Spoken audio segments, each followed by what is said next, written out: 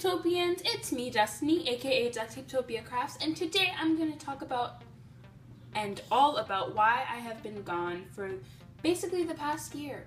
So, without further ado, let's get started.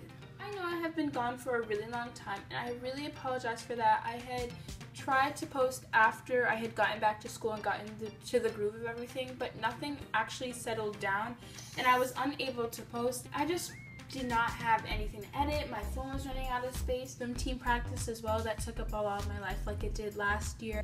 And homework this year came to an extreme. I literally had no sleep, no time after coming home at 8 o'clock after swim team practice every day. So I was running out of time and I had no time to do what I wanted to do for myself. I had to do everything that I was obligated to do until Christmas time came around. I had saved enough for my computer where my parents helped me get the rest and save up for the rest and I ended up getting a computer. So now I am fully able to film for you guys and edit really long things like tutorials. So you guys should be really excited because I am planning on filming the pocket purse tutorial very soon. So now I am back because it is the summertime so I have time to post as much as possible. And so I really can't wait to post for you guys. I'm planning on doing many things for this channel as long as you guys are interested. So please just comment down below if you are happy I'm back so I know that you guys are interested in my content and would like to see more. So just comment down below if you'd like that.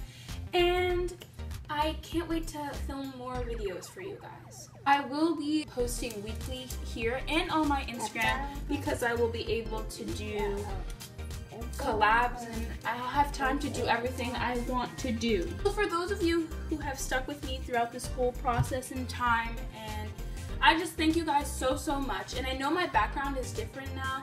I haven't gotten my background under control. I want to do something a little bit different but I don't have my resources to do that yet. But I will be. And then the washi tape, I love that as a background but I did throw that away because it was simply unnecessary and I couldn't actually use it I don't know. Be doing my own original thing very soon, as soon as I get a large enough poster board to do so. Hope you guys enjoyed this video. Please be sure to comment, like, and subscribe for other videos. You don't have to necessarily do it for this video because this video wasn't very eventful. But I will be posting next week. Um, hopefully it's a craft update, but I don't want to spoil too much. So that would be on a Saturday, Friday, or a Sunday. We'll see. So I'll talk to you guys next time. Bye, guys. I used to believe we were burning on the edge of something beautiful, something beautiful.